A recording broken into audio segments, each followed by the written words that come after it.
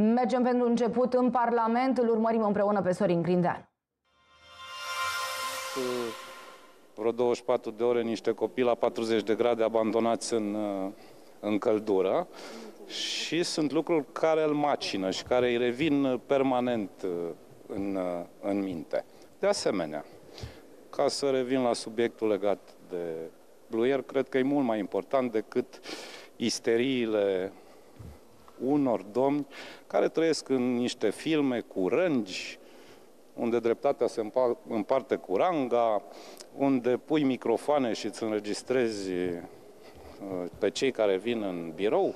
Cred că pe români isteriile și filmele construite în capul unora nu interesează. În schimb, mă interesează chestiunile legate de situația pe care ați amintit-o dumneavoastră, cea legată de, de Blue Air. Blue Air e o companie privată. Blue Air este o companie care în octombrie 2020 a beneficiat de o ordonanță de urgență a unui guvern de dreapta, octombrie 2020, de 300 de milioane de lei pe un ajutor de stat. Ajutor de stat care între octombrie 2020 și ianuarie 2021 a fost accesat de această companie privată.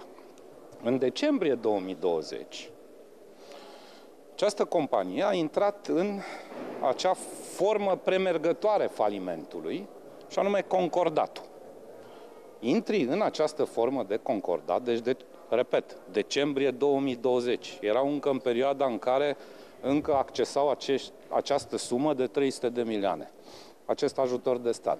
În decembrie 2020, urmarea unei decizii a unui judecător, intri în concordat, urmarea unei decizii unui judecător sindic, au intrat în această formă premergătoare falimentului. Și acum, când vorbim, se află în această formă.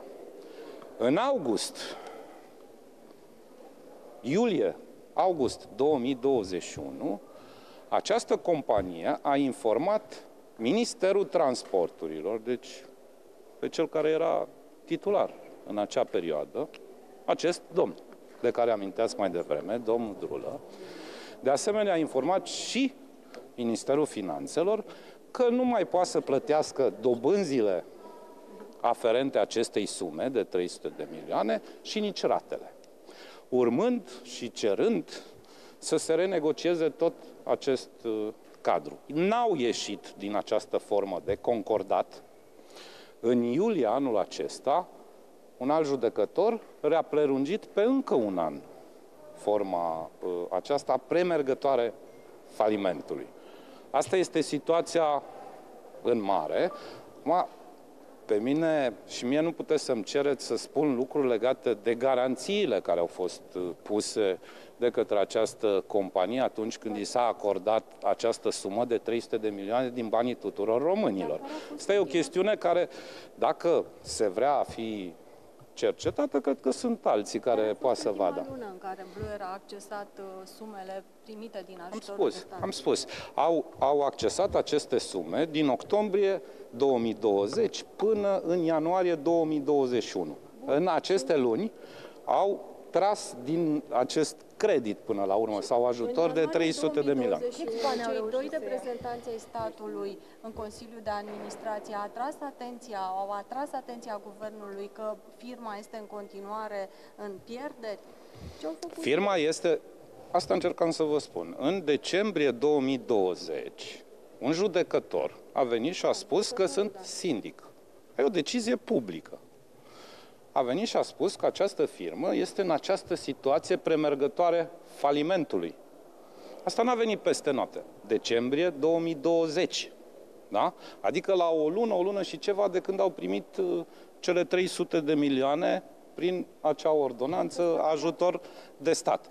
Că statul, în momentul în care a dat cele 300 de milioane, asta încercam să spun, da. n-a verificat foarte bine situația economică